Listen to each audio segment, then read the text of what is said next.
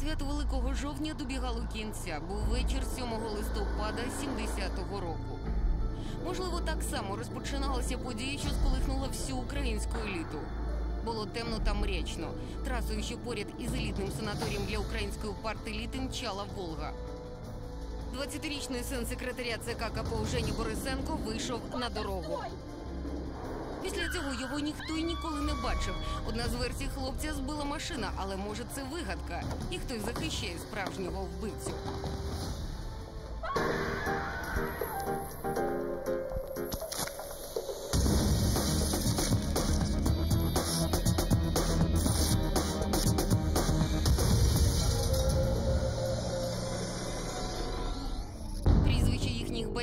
Сходять із газетних шпальт. Партійна еліта керує країною, будує комунізм та обіцяє добре життя. А їхні сини у 70-х їх називають мажорами. Життя мажорів безтурботне, веселе і таємне. Але, попри батьківську владу, їхні фото з'являються в кримінальних справах. Валерій Щербицький, душа компанії, помер передчасно. Вадим Плющ, крутливий комерсант, убито за загадкових обставин. Студент Євген Борисенко просто зник. У цьому фільмі ми тільки намагаємося відтворити перебіг подій. Можливо, все було зовсім не так, як написано в кримінальних справах. 8 листопада 70-го року за високим парканом на урядовій дачі секретаря ЦК Компартії України нервове напруження. Після свята розколюється голова від залишків делікатесів просто нудить. Дачу невеликий двоповерховий будиночок ретельно обшукують. За чверть століття саме тут житиме перший президент України Леонід Кравчук. В 1994 році я переселився в той будинок, в якому жив Борисенко. І дуже багато було розмов про сина Борисенка, який загинув трагічно. Тоді тут три доби безвизно живуть правоохоронці. Доповідати доводиться генералам, результатів роботи жодних. Син секретаря ЦК КПУ Жені Борисенко, наче щез. Кожен крок, скажімо, дитини секретаря ЦК контролювався. І батько, мати знали, де син, з ким він спілкується, де він знаходиться. І тому вони старалися якомога при будь-якій нагоді вийти з-під контролю батьків. Вони вийшли з-під контролю на жовтневі свята. Син секретаря ЦК запросив на дачу друзів. З матеріалами кримінальної справи все відбувалося приблизно так. Спокусливого повітря свободи Жені Борисенко хильнув ще зранку. Під час параду він потайки випив півпляшки коньяку. Кому підтримати у дітей української партеліти, а їм усім уже за 20 усе по-дорослому. Службова Волга в саквояжі продукти з циківської крамниці. Вечірка обіцяла бути веселою. Околиця Москви, син колись можновладного батька живе небагато. Тоді юнак, а нині єдиний чоловік, який був на вечірці і дожив до наших днів. Ну, как развлекались, я не знаю. Но тогда собирались там где-то у кого-то, ну, естественно, выпивали, вот, и танцевали, танцевали, танцевали обязательно. Дефіцитні харчі на столі для партеліти річ звична. Коньяк на свято привозили тільки вірменський, а кав'яр кав'яр був і чорний і червоний. І тільки ця дівчина-лаборантка Люба, можливо, й чарівну бляшанку бачила вперше, чим дуже потішила елітних діточок. 70-го року найпопулярніше гасло в народі нам не треба ковбаси, аби не було війни. Кияни поневіряються від дефіциту. На всіх бракне одягу, телевізорів, пральних машин і магнітофонів. У цей час діти партеліти вже слухали Бітлз і зневажали радянську попсу. Вдягалися за останньою модою. Пальта, сукні та костюми їм шили в закритому ательє комунар. Шарфи, джинси та модні светри батьки привозили діточкам із-за кордону.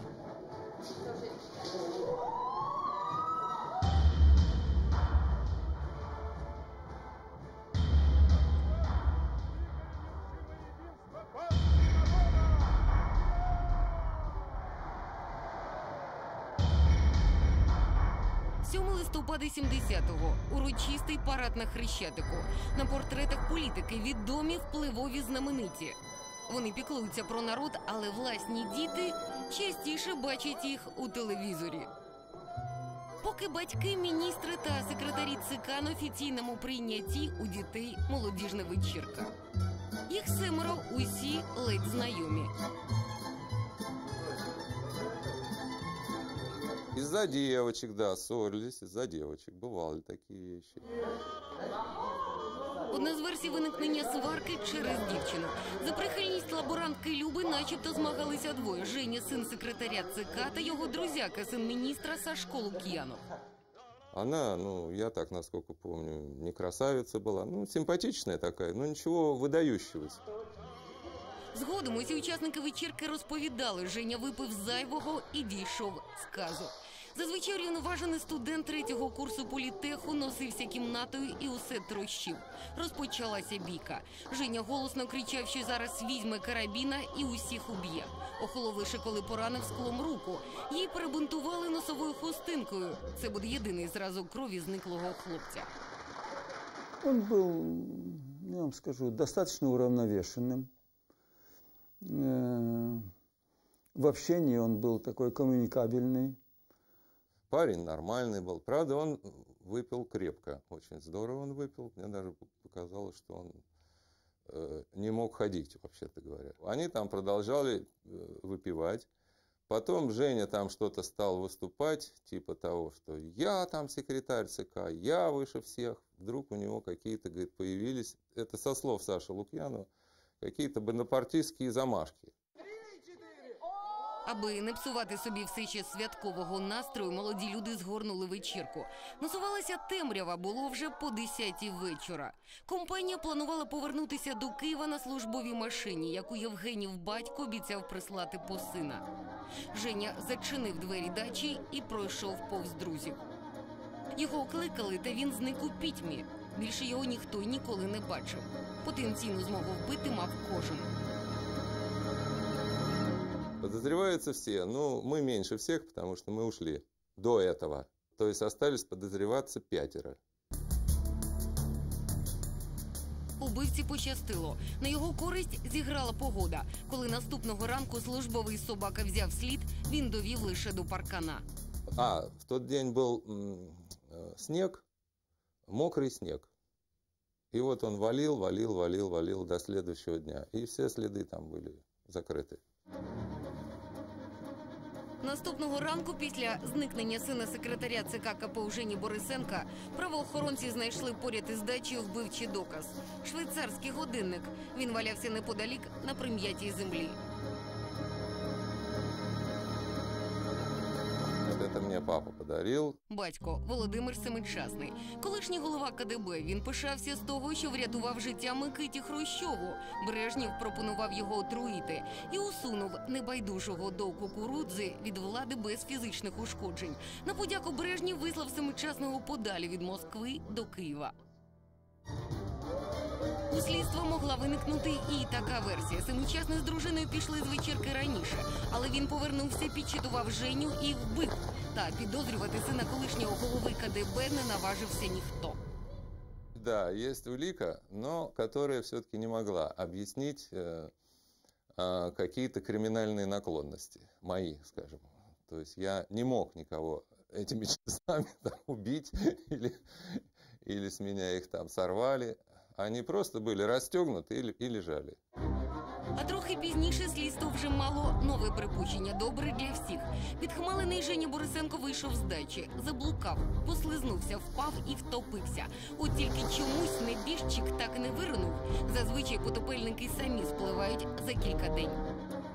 Женю Борисенка шукали по всьому радянському союзові. Одночасно його бачили скрізь. У Воркуті продавав огірки на вокзалі, бешкетував у вагоні-ресторані, що мчав з Харкова до Владивостока, повзли поголоски і в самому Києві. Однозначно звучала версия «День-два пройдет, он вернется». Провидець Вольф Месинг знає все. Так вирішив Євгенів старший брат. На той час пошуки зниклого тривали вже три роки. Славетний чарівник довго розглядав світлину хлопця. Фотографию он попросил, мы приготовили, естественно, фотографию. Он посмотрел так внимательно, как говорится, участливо, и вообще он понимал э, цель приезда в Киев действительно. Он говорит, он жив. Справа зникнення Жені Борисенка остаточно зайшла у глухий кут, але у родини з'явилася надія на його повернення.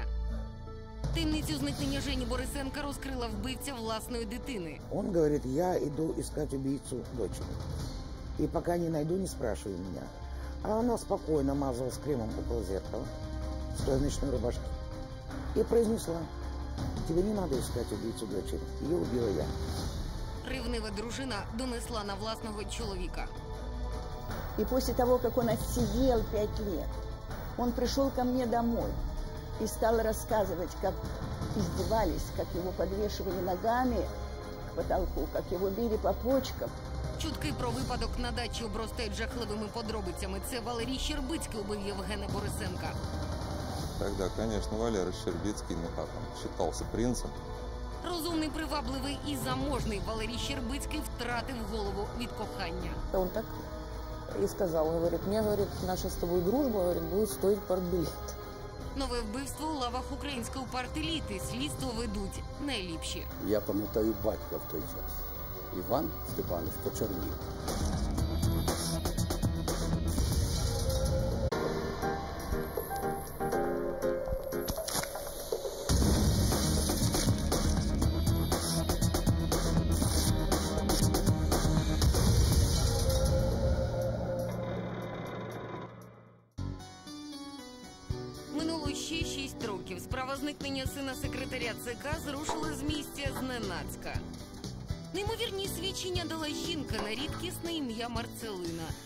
Сільська тітка далеко від еліти знала вбивцю в обличчя. Це був її чоловік. Колись регулювальник вони запізналися просто на перехресті, а нині капітан міліції Павло Могильний. И каким образом, как произошло, что она сказала, что мы с Могильным, что я с Могильным могли убить э, сына Борисенко. Цей чоловік Марцелини Павло Могильний, міліційний капітан. Якось у білявки Раїси вкрали її Волгу. Павло автівку знайшов. Він обожнював техніку, а свого авто не мав. Невдовзі вони стали дуже корисні одне одному. Я не хочу об этом говорить, но во всяком случае э, я была женщина заметная. Не только заметно внешне, но и заметная хотя бы потому, что я ездила на своей собственной «Волге». И многие хотели со мной познакомиться. Чоловік розважався, жінка Марцелина тяжко працювала. Додому поверталася зла й натомлена. У родині її всі зневажали. А надто старша донька Анжела. Девушка страдала зрением, ей не разрешали включать телевизор. Сталося навесні 76-го. Березневий сніг швидко розтанув. На підлозі утворилася калюжа. 11-річна Анжела повернулася зі школи, присохла до телевізора. Аж раптом мати. Анжела, ты что, снова телевизор смотришь? З матеріалів кримінальної справи, коли Марцелина почала кричати на доньку та стала звично відгавкуватися. Телевизор смотри. Тебе что, непонятно? было? Таня, Сказано. ты Непонятно змея! было сказано. Я тебя не люблю! Здравствуй, смотри. Єдиним бажанням матері було, щоб дочка замовкла. Згодом на тілі мертвої дівчинки судмедексперти виявили 11 ножових ран. Мати була поза підозрою. И только когда могильный стал пропадать ночами, у него была любовница, она стала догадываться. И однажды он собирается, она говорит, так ты куда идешь? А он говорит, я иду искать убийцу дочери. И пока не найду, не спрашивай меня. А она спокойно мазалась кремом около зеркала, стоя в ночной рубашке, и произнесла, тебе не надо искать убийцу дочери, ее убила я. Вона розкололася майже відразу, виправдовувала себе і з задоволенням розповідала в усьому винен чоловік. Це він налаштовував проти неї дітей, брав хабарі, зберігав удома конфісковану зброю. Зрештою, це він збив Женю Борисенка. Так гучна справа про вбивство дівчинки зрушила з місця справу про зникнення хлопця Жені Борисенка. Когда э, э, ее вызвали на допрос, она сказала, что Могильный ездил, сбили на машине Глинской. И что якобы она сказала, что он был за рулем. Нова версія слідства була така: 7 листопада капітан Павло Могильний та бухгалтерка Раїса Глинська вирішили відвідати його батьків. Згадали про свято, заїхали до ресторану. Час промайнув непомітно, сутеніло. Він був не під питку і щосили тиснув на газ. Глухий удар вони почули одночасно. Жінка зойкнула. А дело в том, что мы взяли эту «Волгу» в полное исследование, сняли сиденье, и там были небольшие вмятины. И мы вот делали соскобы с этих мя- вмятин. А потом сравнивали с, с разными пулями из разных пистолетов. Пришли к выводу, что это выстрел с пистолета Браунинг. Після свідчень Марцелини Волгу Рейси Глинської ретельно дослідили і знайшли залишки крові на бампері. Екс-капітан Могильний навіть уявити не міг, що фізики-ядерники за стільки років ідентифікують кров Жені. Окрім цього, в авті знайшли беззаперечні докази вбивства дві вм'ятини, ймовірно, від куль пістолета. Лишалося знайти тіло. Основной постулат римского права – нет трупа, нет преступления. А у нас трупа не было.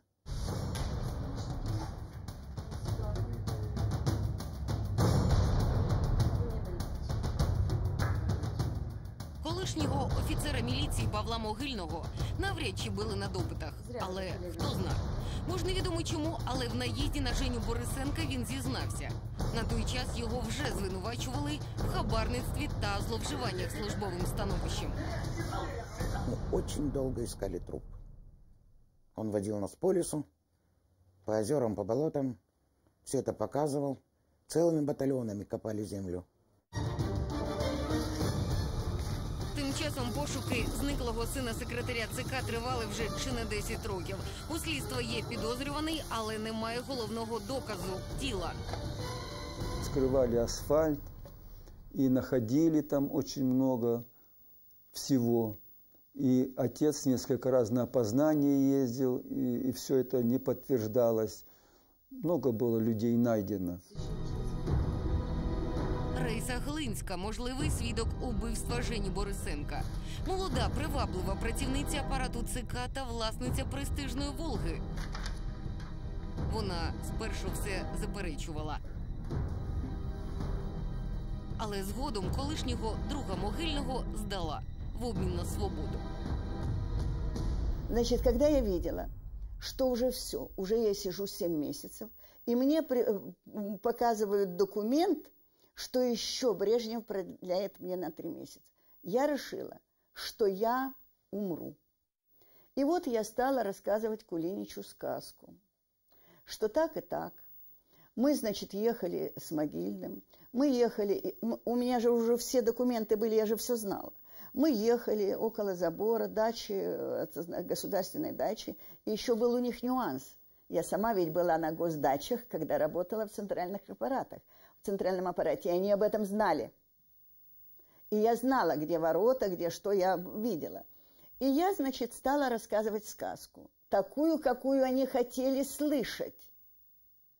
Все, как они говорили, что я испугалась, что я встала, что я вышла из машины, пошла в город, а что делал могильный, я не знаю.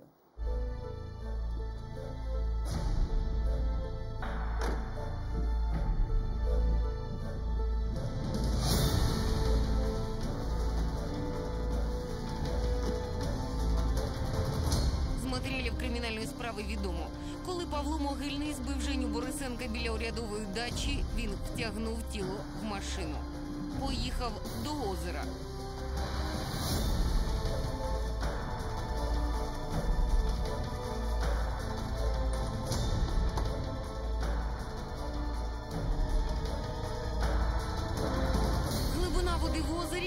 Десь із метр. Витягнув тіло. Як додаткову вагу використав цеглину. Сховав кінці в воду. Не відкидають, що Жені Борисенко на той час був ще живий.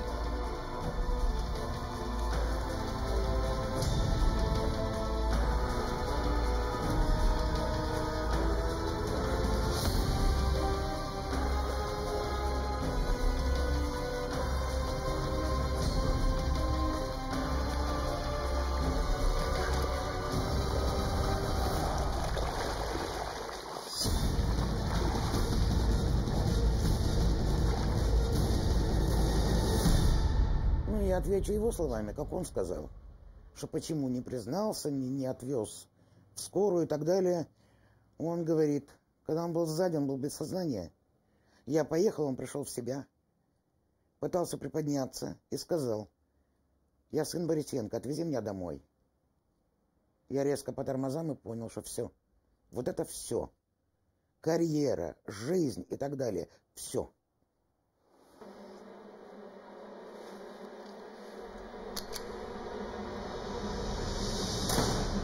Так он признал, что он сбил его. Но он не говорил, что он дострелил, вот я, чтобы было только дорожное. А также, извините, дорожно-транспортное, переросшее, переросшее в умышленное, в убийство. И когда нет моратория на смертную казнь, он же не дурак, он юрист все-таки.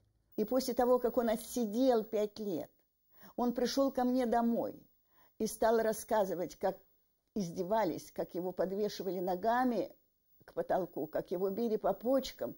И я, конечно, поступила, сейчас я считаю, что я поступила даже подло. Я сказала, знаешь что, Павел, я не хочу тебя знать. Я знаю, что такое милиция. Я знаю, что такое продажные менты. Я знаю методы их работы. Ты работал с ними. Ты был в их компании. Как они с тобой расправились, это уже не мое дело. Но как ты мог допустить, что моя семья пострадала из-за тебя безвинно, что моя дочь пострадала, я пострадала, я опозорена. И ты не пришел просить у меня прощения за это, а ты пришел ко мне жаловаться. И так мы с ним расстались. Больше я с ним не встречалась. Говорят, он умер, я уже знаю, что он умер. Так непросте походження сина секретаря ЦК КПУ коштувало йому життя. Не мав би відомого батька, був би живий.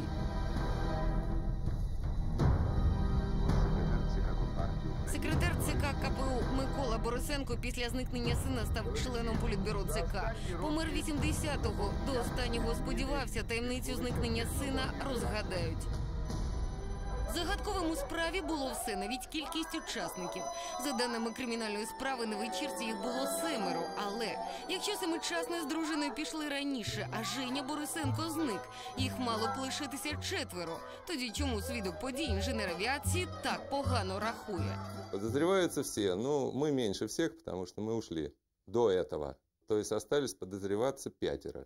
А хто ж п'ятий? Ще у 70-х, коли чутки про випадок на елітній дачі щодня приростали жахливими деталями, народ пліткував. Це Валерій Щербицький був там і вбив Женю Борисенка. Знаете, он не был жадным человеком, он угощал всех, он был доброй души человек, но он был псих. Если он не пил, значит, он кололся, если не кололся, значит, курил. И если ничего не было, значит, он или же начинал с кем-то ругаться, или э, доходило дело до драки. Вже за два роки після зникнення Жені Борисенка Володимир Щербицький перша особа в країні. У нього є влада захистити і себе, і сина.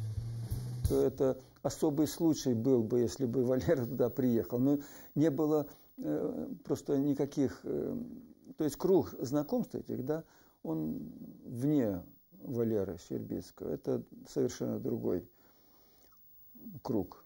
Он старался избегать общения, так сказать, с детьми, э, скажем так, членов Политбюро. Причиной этому послужило, послужили события 61 года.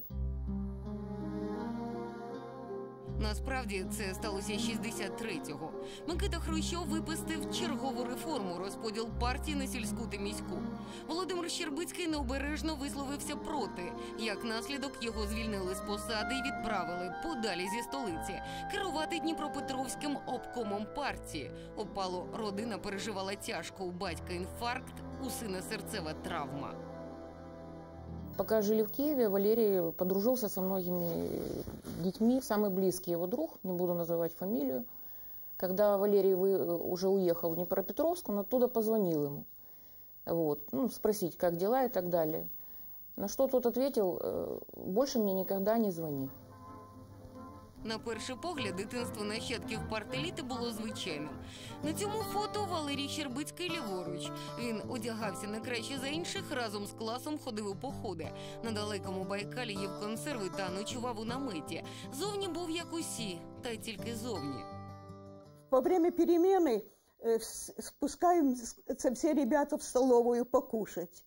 И Валерий спускается в столовую, так же, как и все ученики, обедает там, кушает на перемене, да еще дома хвастается, что в школе котлеты вкусней, чем дома. До мене приходили вчителі, до мене приходили батьки, які ділилися своїми ну, спостереженнями. І одне спостережень було в тому, що не можна робити зауваження дітям секретарів ЦК, членів політбюро. Тому що дитина може ну, поскаржитись батькові, а батьки бувають різні. Мати Валерія Щербицького, вчителька російської мови та літератури в його школі. Поняття першої леді в той час не існувало.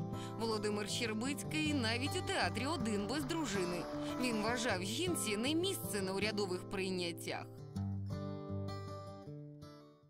А син, син навіть футбол дивився окремо. Віпложений для родичів. У цьому Володимир Щербицький був непохитний.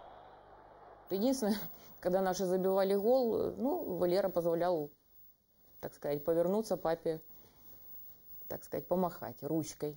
Вот. Ну и, собственно говоря, все. Счет становится 1-1. У той час футболісти вже стали особливою кастою. Ними опікувався сам перший секретар ЦК. Вони виїздили за кордон, отримували квартири, машини і грошові премії за перемогу.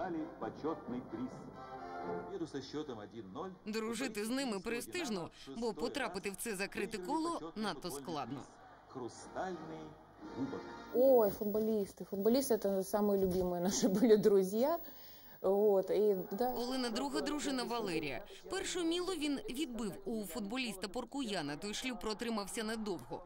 Дружба з гравцями київського Динамо тривала все життя. Коли Валера зникав, його шукали серед футболістів.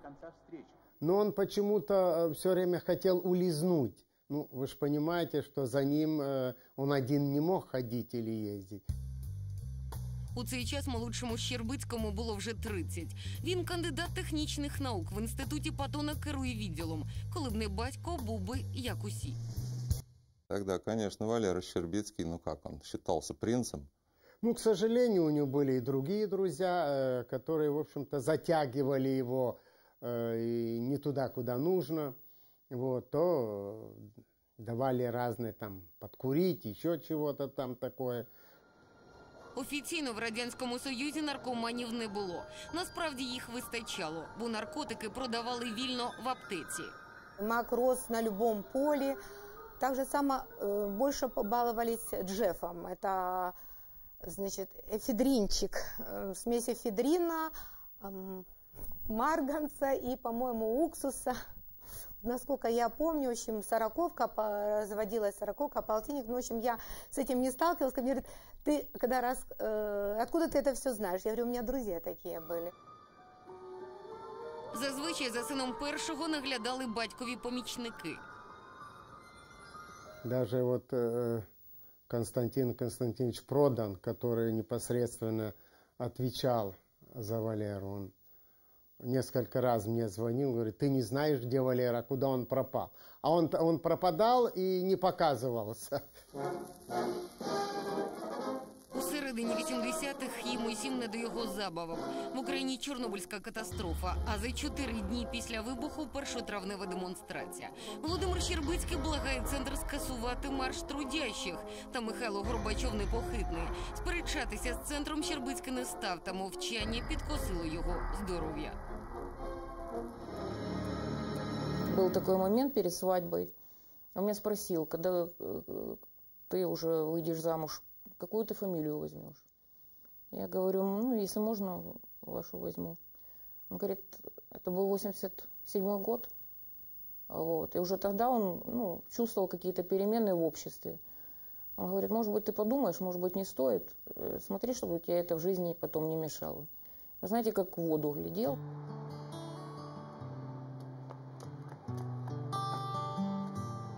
Валерій Щербицький, розлучений, заможний і привабливий, знову втратив голову від кохання.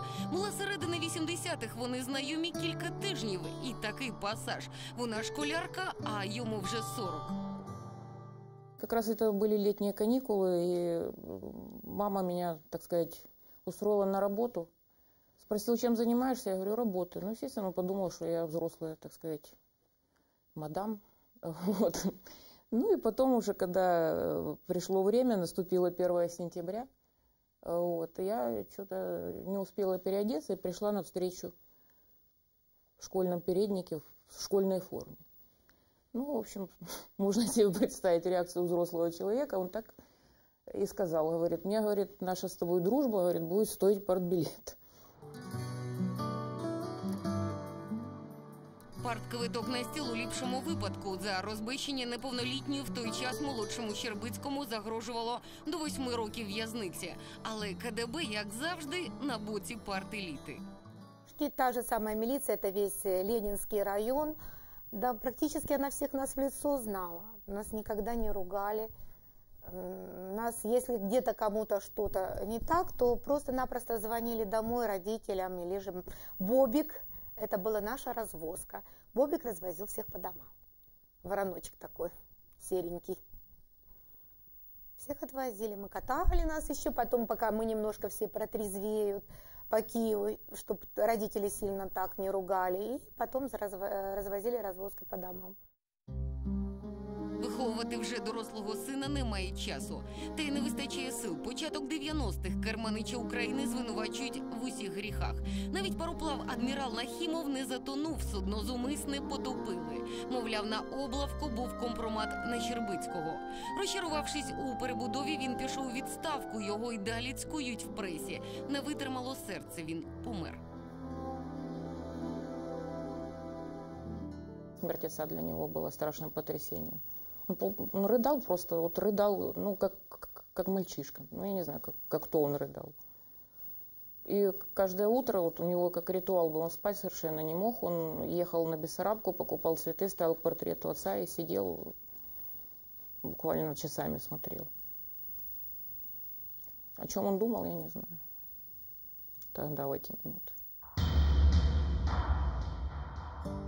Усього на рік син пережив можновладного батька. Народження сина від молодої дружини хвилювало кров, але здоров'я надірване. За ним припинили наглядати. Оточенню значно порідшало. Життя втрачало сенс. Він помер молодим у 46. В это время я была дома одна, позвонили в дверь. Под домом стояла желтая, наверное, копейка. Вот. То есть он ехал домой. Ему, видимо, в машине стало плохо. Когда открыла дверь уже. Вот. Я попросила водителя, говорю, вы, пожалуйста, не трогайте его. Пошла вызывать скорую. Вышла, а водитель вытащил его из машины, бросил под подъезд. И уехал. Ім'ям Української Радянської Соціалістичної Республіки від 4 вересня 91-го року, зважаючи на виняткову небезпеку, яку представляє Іванов Олександр для суспільства, призначити йому виняткову кару. Початок 90-х. Новий кримінальний скандал. У власній оселі вбито сина відомого політика. Я пам'ятаю батька в той час. Іван Степанович почернів. Справою опікуються найліпші. Слідство триває три місяці. Злочинця затримано, та доказів замало.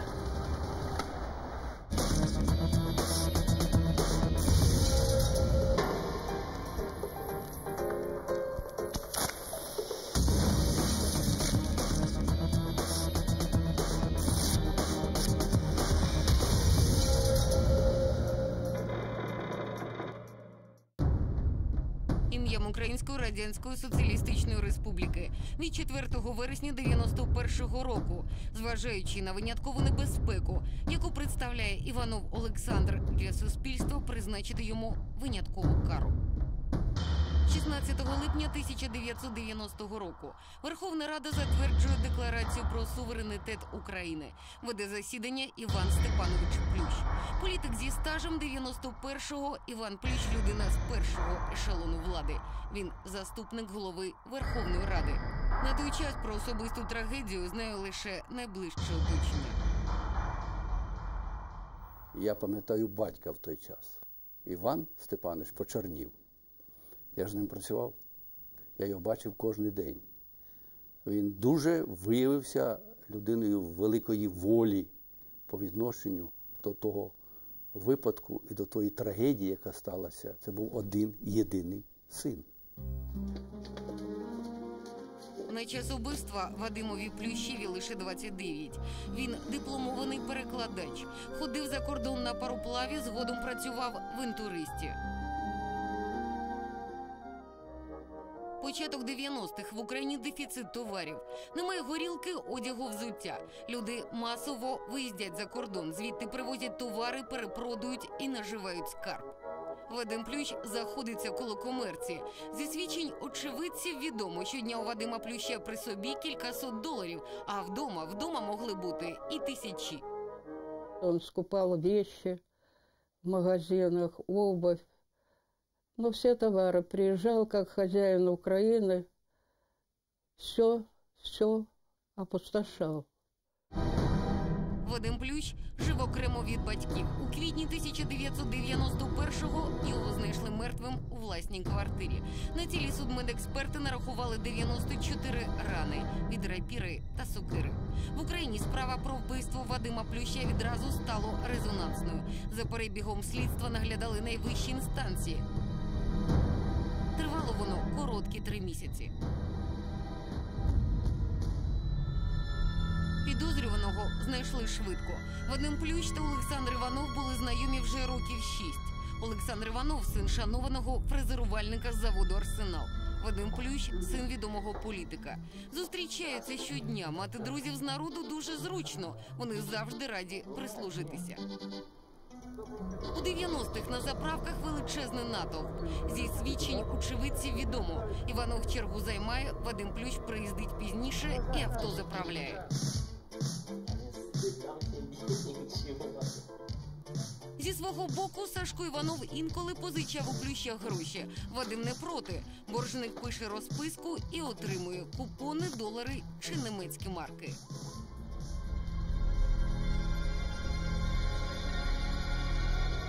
Розписка. Я Іванов Олександр позичив у Вадима Плюща три тисячі карбованців. У разі неповернення боргу зобов'язуюсь віддати свій телевізор Електрон. У моего мужа было воспаление легких, и я вместе с ним лежала в больнице.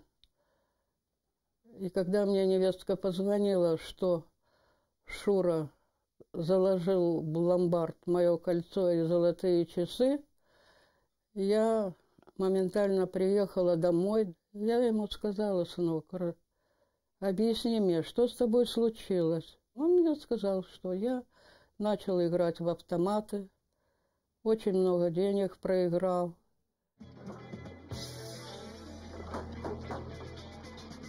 Перші гральні автомати з'явилися в столичних готелях. 27-річного Іванова нова забавка засмоктала миттю. Він грав, грав і лишався без грошей. Уже за півроку був винен усьому Києву 50 тисяч купонів. Пляшка горілки 91-го коштує 12 купонів, а 1 долар 22. Якщо перерахувати борг Іванова на підпільні зелені, його борг складав усього 2200 доларів. Велика сума на той час. Мы решили, чтобы Шура занимался грачеванием, как называется, грачеванием. Вот. И все то, что он будет зарабатывать, он составил список, кому он что- сколько должен, и будет передавать моему старшему сыну, и старший сын будет отвозить эти все долги. Офіційно Сашко Іванов вже рік як безробітний. На заводі затримували зарплатню. Він звільнився. Гракування приносило прибуток, але грошей все одно не вистачало. У слідства для затриманого Іванова є мотив. Усім винен.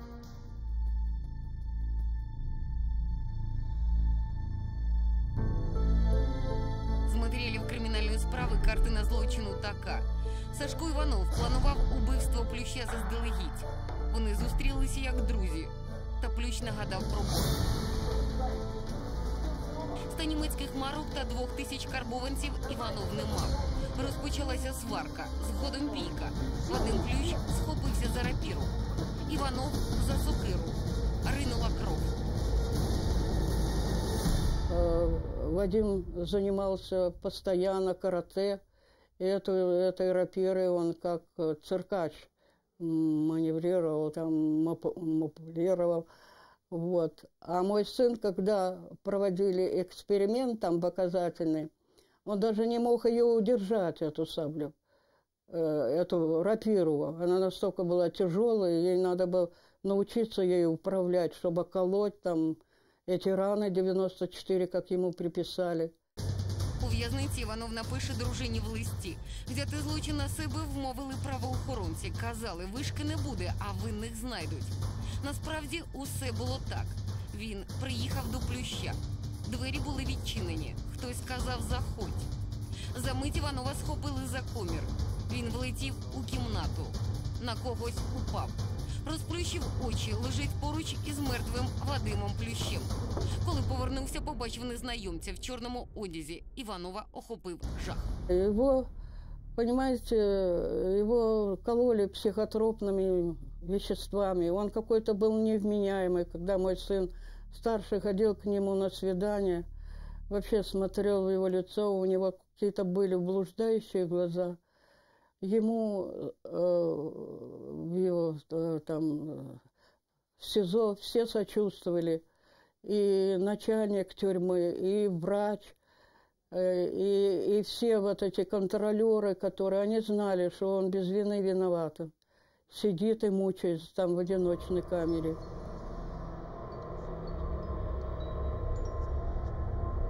З матеріалів справи відомо.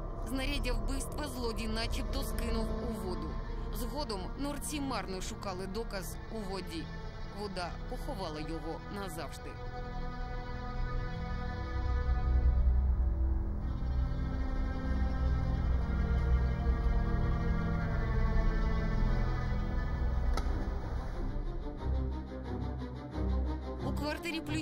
Знайдено жодного відбитка пальців Іванова. Чи був він у рукавичках, не з'ясовано. Натомість є купа відбитків незнайомих слідству осіб.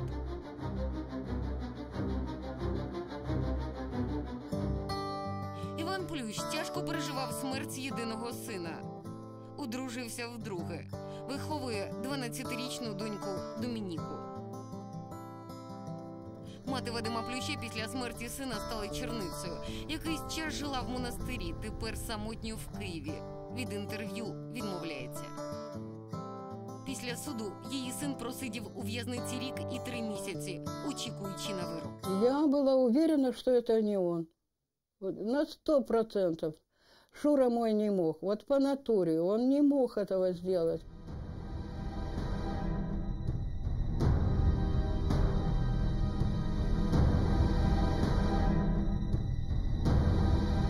Рішення було таке, яке я підписав. Звичайно, я міг і змінити це рішення. Право президента таке є. То в мене не було аргументів відмовити, е, помилувати. Не було аргументів. Був один аргумент: навіщо ще одна смерть? Але якщо стати на таку дорогу, тоді таких, які можуть вбивати, буде стати, може стати ще більше. Тому це має бути не тільки смерть як смерть, а ще й повчальний крок з боку влади для того, щоб бажаючих вбивати ставало якомога менше. Матір Сашка Іванова живе надією, що її сина реабілітують і знайдуть убивць Вадима Плюща. Справу Жені Борисенка не закрито досі. Минуло 38 років ані тіла, ані винних. Прізвище Валерія Щербицького перейшло до двох його синів. Вони ним пишаються.